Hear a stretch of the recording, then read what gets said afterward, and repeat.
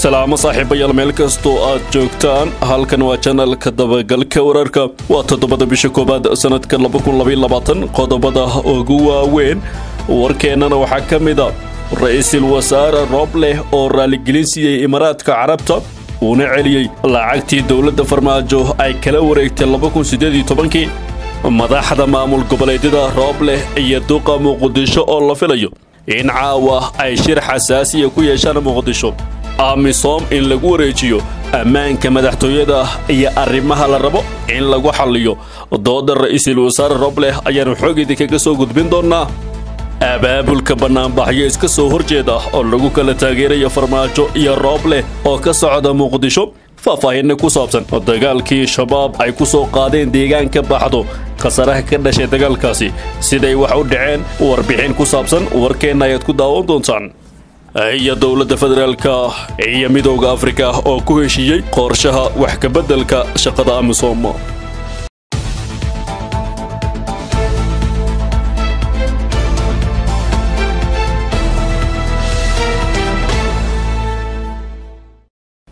intaasi saaxiibayaal waxay ahaayeen qodobada ugu doorkaroon warka janaalka dabagelka wararka.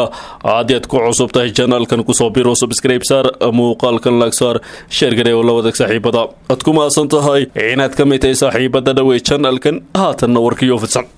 Roobleh ayaa raaligelin siiyey imaaraadka uuna celinaya lacagtii lagala wareegay ra'iisul wasaaraha soomaaliya maxamed xuseen rooble ayaa maanta dowladda imaaraadka carabta ka raaligeliyey dhacdadii bishii abriil kii ay dowladda soomaaliya ugala wareegtay lacag laga soo dejiyey garoonka adancadde rooble ayaa hadalkan lama filaanka maanta ka sheegay muqdisho.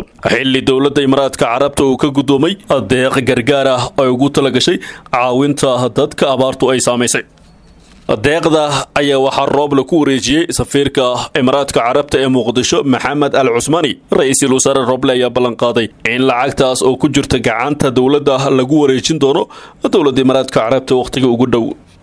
Ra'iisul wasaaraha ayaa imaaraadka carabta kaga mahad celiyey garab istaageeda shacabka soomaaliyeed waxaanuu sheegay inay ka go-an tahay xoojinta xiriirka soo jireenka ee labada dal ee walaalaha. ah bishii abriil kii dowladda soomaaliya ayaa gacanta ku dhigtay lacag dhan milyan oo dolarka maraykanka ah oo garoonka muqdisho uga soo degtay safaradda imaaraadka carabta ee muqdisho taasoo horseeday in imaaraadku ay joojiyaan tababarkii ay siin jireen ciidamada soomaaliya. Xilli xiriirka labada dalna uu gaaray meeshii ugu xumayd dowladda federaalk ayaa sheegtay lacagtaas in loogu talagalay in arbushaad siyaasadeed looga sameeyo dalka balse imaaraadka ayaa ku dooday inay ugu talagaleen mushaarka militariga soomaaliya oo qayb ka mid ah xilligaasi iyagoo ay tababari jireen.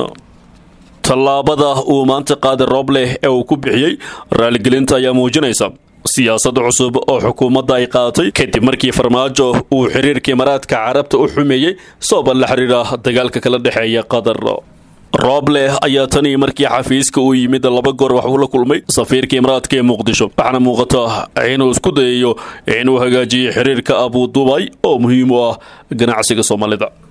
Golaha watashiga qaran ayaa la filayaa in caawa ay kulmaan waxaa caawa lagu wadaa in magaalada muqdisho kulan ay ku yeeshaan madaxda golaha watashiga qaran ee ka kooban ra'iisul wasaaraha. Madaxweynayaasha dowlad goboleedyada iyo gudoomiyaha gobolka banaadir. Golaha ayaa sii wadaya dooda qodobada ay isku hayaan ay ugu weyn tahay arrinta mas'uuliyadda amniga. Madaxweynayaasha puntland iyo jubbaland ayaa qaba in arrinta amniga looga dambeeya ra'iisul wasaaraha. Halka madaxweynayaasha koonfur galbeed galmudug iyo hirshabelle ay ku doodayaan in madaxweynaha loo daayo mas'uuliyadda amniga shirka golaha ayaa lagu waday in la soo gebagabeeyo maalintii shalay. Balse dooda oo adkaatay madaxdu waxay ku ballameen kulamo kale. Madaxda ayaa ilaa iyo xalay waday kulamo gaargaar ah oy kaga hadlayaan qodobada laysku mari laayahay. Ay arrinta ugu weyn ay tahay mas'uuliyadda amniga dalka. Markanna waxaanu eegaynaa amisom in lagu wareejiyo ammaanka madaxtooyada iyo arrimaha la rabo in lagu xaliyo dooda ra'iisul wasaare roble laba maalmood oy socotay dooda ku aadan amniga waxaa lagu ballamay in watashi hoose ah loo laabto si ay dhinacyadu isugu soo dhowaadaan siday sheegayaan xubno ka mid ah madaxda maamulada? Markii adkaatay dooda qodobkan la xiriira waxaa loo gudbay in mowduuca la jejebiyo oo qayb laga qaato qaybna la tuuro. Tusaale ahaan dhanka ra'iisul wasaaraha waxay keeneen dood ku saabsan sida lagu aamini karo oo madaxtooyada loogu wada shaqayn karo iyadoo la ogyahay wixii dhacay toddobiylabaatankii bishii hore iyadoo golahu uu ka jawaabayo walaacaasi amni waxaa miiska la keenay aragti ah in ciidanka amisom lagu wareejiyo ammaanka guud ee madaxtooyada oo bannaanka loo soo saaro. Dhammaan ciidamada soomaalida ah ee labada nin kala taabaxsan si meesha looga saara cabsida ku saabsan inuu farmaajo mar kale isku dayo wax la mida tallaabadii dhacday bishii hore in ciidankooda soomaalida ah la geeyo kontaroolada bannaanka ah ayaa ku jirtay dooda sida wararku ay sheegayaan. Dhanka roobleh ma uusan diidin aragtidaasi laakiin lama oga. In farmaajo uu aqbali doono in dhammaan ciidamada soomaalida ah laga saaro gudaha madaxtooyada. Waajibaadka amisom waxaa ka mid ah inay sugaan amniga madaxda dalka iyo xarumaha muhiimka qodobka kale ee dooda amniga laga qaatay ayaa ahaa in golahu uu soo jeediyo in la bedelayo taliyaha ciidanka xoogga dalka odawaa yuusuf raage iyadoo laga heshiinayo cidda lagu bedeli doono. Qodobkani waa aragti miiska taallay laakiin looguma dul shaqayn sida qodobka la xidhiiray in amisom lagu wareejiyo ammaanka madaxtooyada. Dhanka kale muqdisho waxaa ka socda abaabulka banaanbaxyo iska soo horjeeda oo lagu kala taageeraya farmaajo iyo roble magaalada muqdisho waxaa ka socda abaabulka kulamo dadweyne iyo banaanbaxyo iska soo horjeeda oo lagu kala taageerayo madaxweynaha iyo ra'iisul wasaaraha oo khilaaf adag uu dhexeeyo. Shalay waxaa muqdisho lagu qabtay kulan lagu taageerayo farmaajo waxaana soo abaabulay maamulka gobolka banaadir oo gaadiid ku soo qaaday qaar ka mid a haweenka malaamileyda ah ee u shaqeeya dowladda hoose ee xamar sidoo kale isla shalay. Waxaa magaalada muqdisho ka dhacay kulan lagu abaabulayo banaanbax ka dhana farmaajo abaabulka banaanbaxan oo toddobaadkan dhici doona ayaa waxaa wada wasiirkii hore amniga galmudug axmed macalin fiqi odayaal iyo siyaasiyiin ku aftirsada kursiga hob oo doorashadiisu ay dooda ka taagan tahay iyo qaar kale oo ka tirsan bulshada gobolka banaadir nabadoon xasan cali oo aada loogu yaqaano cali jeesto islamarkaana ah odayga dhaqanka ah ee leh saxiixa kursiga hob ayaa dhankiisa ku dhawaaqay. Banaanbaxan waxaan uu sheegay in keliya uusan midkan ku koobnaan doonin waxaa jirta cabsi laga qabo in kulamada siyaasadeed iyo abaabulka banaanbaxyada ay kaga sii dari karaan xaaladda waddanka iyadoo ay xusud mudan tahay in shalay warbaahinta ay ka soo muuqdeen haween danyar ah oo qaarkooda da ah lagana qaybgeliyey kulankii dhacay ee lagu taageerayay farmaajo halka banaanbax kale oo ka horreeyana ay boolisku kala ceyriyeen dhanka kalena faahfaahinno kala duwan ayaa ka soo baxaya dagaalkii shabaab ay ku qaadeen baxdo wararka naga soo gaaraya deegaanka baxdo ee gobolka galgaduud.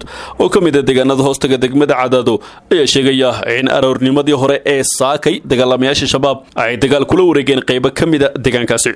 Dagaalka ayaa bilowday kadib markii maleeshiyada kooxdaasi ay weerar xoogan oo dhowr jihaha ku qaadeen deegaanka baxdo waxaana shabaabku halkaasi ay iska caabin xoog la kala kulmeen dadka deegaanka iyadoo muddadii dagaalka u socdana la ysku adeegsado hubka noocyadiisa kala duwan dadka deegaanka ayaa u sheegay warbaahinta. Dagaalka waxa uu ahaa mid aada u xoogan islamarkaana xooggiisa wax uu ka dhacay gudaha deegaanka baxdo. Waxaana la soo warinayaa in dagaalka uu geystay khasaare kala duwan oo dhimasho iyo dhaawacba leh walow aanan la xaqiijin karin inta uu gaarsiisan yahay khasaaraha shabaab ayaa dib looga saaray gudaha deegaanka baxdo mana jirto wax war ah oo ka soo baxay. Dhanka maamulka galmudug oo ku aadan dagaalka ay shabaab kula wareegeen deegaanka baxdo oo markii dambe la soo sheegay in dib looga saaray ugu dambeynna dowladda federaalka iyo midooda afrika ayaa ku heshiiyey qorshaha wax kabeddelka shaqada amisom. Howlgallada amisom ayaa la kordhiyey ilaa bisha maarso ee sanadkan kadib markii ay si wada jir ah isugu afgarteen soomaaliya iyo midooda afrika sida ay mustaqbalka dhow noqonayso shaqada iyo howlgallada amisom waxaa kale oo laysku afgartay in shaqada ugu weyn ee howlgalka ay noqoto dagaalka ka dhanka argagixisada shabaab iyada oo la helayo maalgelin cad si howshaasi loo dardargeliyo. Guddiyo farsamo oo labada dhinac ah ayaa ka fadhiisan doona janaayo tobankeeda iyadoo muddo soddon maalin ah ay ku soo afjari doonaan qorshaha iyo qaabka uu noqonayo howlgalka ay ku heshiiyeen. Kaasi oo la hordhigi doono kow iyo tobanka febraayo golaha nabadda iyo amniga ee midooda afrika soomaaliya ayaa sannadkii ugu dambeeyey waday qorshaha kala guurka ee loo yaqaano somali transition plan s t p waxaana qorshahan uu dhigaya in amisom ay soomaaliya sii joogto ilaa iyadoo soomaalidana si aayara loogu wareejinayo meelaha horta sida ku xusan dukumentiyo kulan dhex maray african union commission iyo dowladda soomaaliya oo dhacay sideedii tobankii ilaa sagaaliyo tobankii agosto ee sannadkii dhammaaday. Waxaa meel fiican laga gaaray oo laysku afgartay. Heergelinta qorshaha s t p waxaana la soo jeediyey in la horumariyo hanaanka hogaanka iyo go'aan qaadashada amisom ee heerarka f h q iyadoo lala kaashanayo un-ka iyo beesha caalamka lana dejinayo hanaan isbeddel ah oo la taaban karo waxaa kale oo soo jeedintaasi qayb ka ahaa in soomaalida ay magacaawdo koox kala shaqaysa midooda afrika qaramada midoobe midooda yurub iyo ingiriiska. Sidii loo heli lahaa qaabka howlgallada iyo maalgelinta wixii ka dambeeya amisom ayaa dalka soo gashay waxaana halkii askari bishii ku baxda lacag kun dollar ah oo aanay ku jirin qalab iyo caafimaad. Sida la ogyahana ma gelin wax dagaal ah toddobadii sano ee ugu dambeysay howlgalka amisom ayaa noqday mid fadhiida ay ku ilaashadaan biil un iyadoo marba marka ka dambeysa loo sii kordhinayay joogitaankooda. Guudaana saaxiibayaal waa naginta warka janaalka dabagalka wararka adiyaad ku cusubtahay janaalkan ku soo biro subscribe saar muuqaalkan laagsaar sheer garee oo la wadaag saaxiibada. Waad ku maasantahay inaad daawato warkan mid ka xig intaan ku kulmi doono nabadgelyo